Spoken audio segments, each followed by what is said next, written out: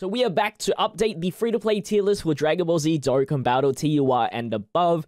Uh, we are doing this straight after the Goku Day Celebration 2022. Last time we did this was Saiyan Day, so we got a few characters to rank. I did move some previously ranked characters around, so some could be higher or lower from the previous, but nothing to be concerned of. But uh, let's just jump straight into it here. Uh, we have, what, 11 characters in here to rank from Vegeta all the way to the Para Para Brothers. Obviously, this is not ordered, but it's okay. Let's just jump straight into the gut of things. Prime Battle Vegeta is probably like the most anticipated character, I guess you could say. And uh, being a Pure Saiyan's leader, 130, which is a really good leader skill. I think he has solid defense. I wouldn't put him Z tier, but I think still he is worthy of being in the S tier. Uh, really high up there. Uh, regardless of if he doesn't have like groundbreaking defense or anything like that, I think the leader skill, the links that he has, and um, even just like the raised defense and multiple attacks is really, really, really good. And um, you know, a card that I really needed to be honest. So yeah, he can go around here, which is fine with me. Uh, it doesn't really matter. It's not really ordered too much. If anything, because I had to reset this whole tier list because I changed browsers. Uh, I had to do this, like, copy it from, like, my previous video, and the order is definitely out of place, so now you just look at it as A, S, or Z character. I might be considering putting another tier, maybe S plus or Z plus, and moving up some characters, because I feel like you can get some of these characters out of S and move them higher, but I don't think they're, like, Z tier worthy, though. Let me know what you guys think. Okay, so now we'll do Goku and Gohan. I guess we'll go in order here. Goku and Gohan has upgraded quite a bit. Obviously, I can't use them, but because we know their details, we have a little bit of a hint of what they can do. As a third slot unit, I honestly would put them Z. As a third slot unit, they're other than like maybe that middle unit not getting the best links, but still you should have like like their ki sufficient obviously in the third slot. They get additional attacks or not, uh, well, additional super attack uh, heal back, raise defense, 12 ki raises defense, 130% Goku's family, which is amazing. I think honestly, you could definitely put it as a Z tier character. Good for long events, good for short events with that ceiling um, and everything like that. I think you could put it on. I think it should be on the same tier as Gohan, or maybe just a bit better than Gohan. Honestly, I had some mind of putting Gohan in Z tier, but for now, I think uh, we'll we'll put Goku in Z tier. I haven't personally used him, so I don't know how fast his defense raise is. But I assume because he's got LR stats and everything like that, and even without the EZA, I felt like he was a very strong character to begin with. So, yeah, we'll we'll do it like that. Uh, is probably a high A. I don't think he's S tier per se. I think he has good effects, but um, you know, siblings bond is not that great for free to play because uh, he support it. His orb changing is nice, but yeah, it's pretty hard to get his like full restriction and provide support. So yeah, he will just sit an A just because his restrictions are a little bit too tough for me right now to be consistently using him all the time. Uh, then we have the Goku's family units. I think uh, I don't even remember where they were in previously. I think Goten goes into low S. I think he's definitely one of the better ones. Gohan and Goku could probably go low A. I don't know. I don't like Goku as much. I think he's a little bit awkward. I might just put him in high B. Just because usability wise, I probably would never use him. But if I ended up using him, he'd be really good. So I'd probably just put him up there. Maybe Cell can go low A as well because he got that 200% leader now. We'll do that. So yeah, I think Gohan's fine. He has pretty you know decent restriction. He's obviously not the highest in percentage wise or stat wise, but still the restriction is much more tasteful than uh, someone needing a specific well, Goten specifically on the rotation to get his late turn effects to then be considered decent. You know what I mean?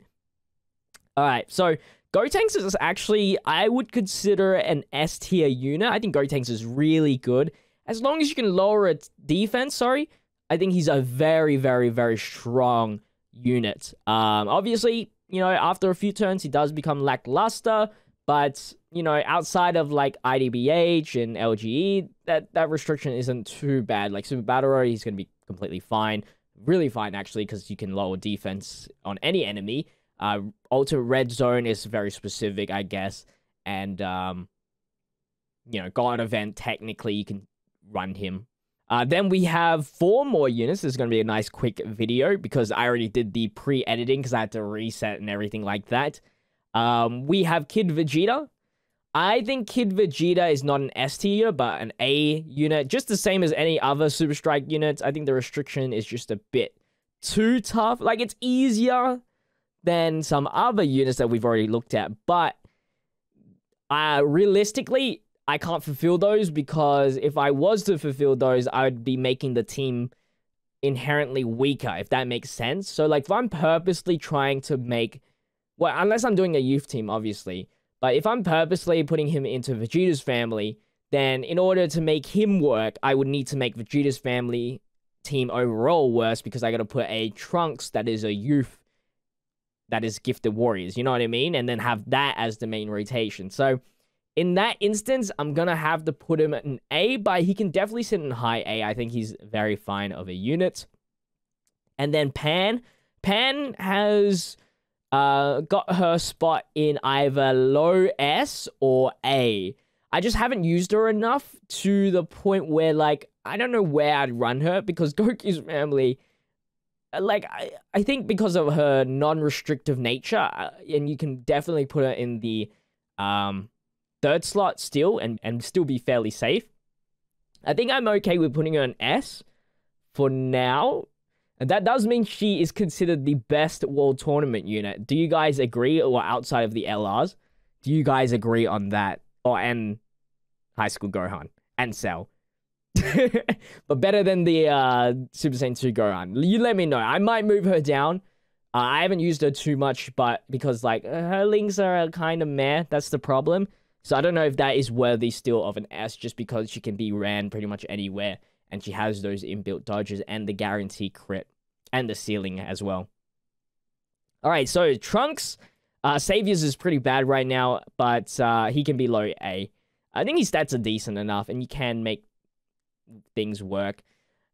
It's hard to put a Super Strike card on B because, like, they do have S820, they do have Supreme Attack, and if you do run him on the team, it, it can be very useful. I feel like there's a niche spot for it, but if you do make it work, he can definitely be A. So, yeah. Uh, like I, I wouldn't say he's as bad as like Frieza versing a one enemy or as bad as Vegeta and Trunks. I think that, like Super Strike Trunks is better than the Vegeta and Trunks. And 8-bit Goku, 8-bit Goku could go in A, but I just don't I don't feel like. I don't feel like it. is pretty much what it comes down to because I don't I never use them. Para Para Brothers I think can go B though. Uh, they are really defensively good. It's just that I there's no reason to use them. Uh, special pose, GT, not even GT bosses actually.